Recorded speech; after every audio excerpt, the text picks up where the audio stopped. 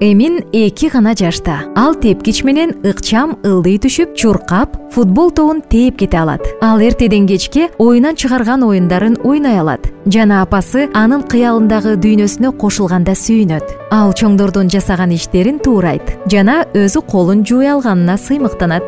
Аса барган сайын көз карандысыз болуп баратат. Ал эки жарым жашта жана өзү кийингенге аракет кылат апасы оюнчуктарын жыйна десе кубануу менен аны аткарат. Жана карындаштары менен ойногондо сылык болот. Никола эки жарым жашында бала бакчага барган. Ал ажыроодон коркуу сезимин жеңип башка балдар жана тарбиячылар менен чогуу ойноо кандай жакшы экендигин акырындык менен сезип жатат ал өз кезегин күткөндү билет. Башкаларды укканды үйрөнөт. Корбулары менен барган сайын татаал мамилелерди өнүктүрөт.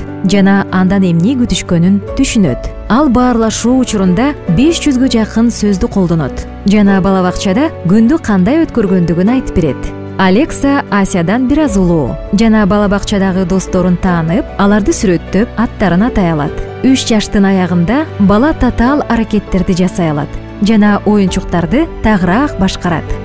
Муну жакын арада үчүнчү туулган күнүн белгилеп жаткан иристин мисалынан көрүүгө болот. Апасы сыяктуу эле ал да кийимин бүктөй алат. Чач тарач болуп ойногонду жана кенгуру сыяктуу секиргенди жакшы көрөт. Бул мисал тажрыйба жана көз карандысыздык аркылуу үйрөнүү мезгили. Анын элестетүүсү өркүндөп чыныгы менен элестетүүнүн ортосундагы чек ара оңой эле жуурулушуп кетет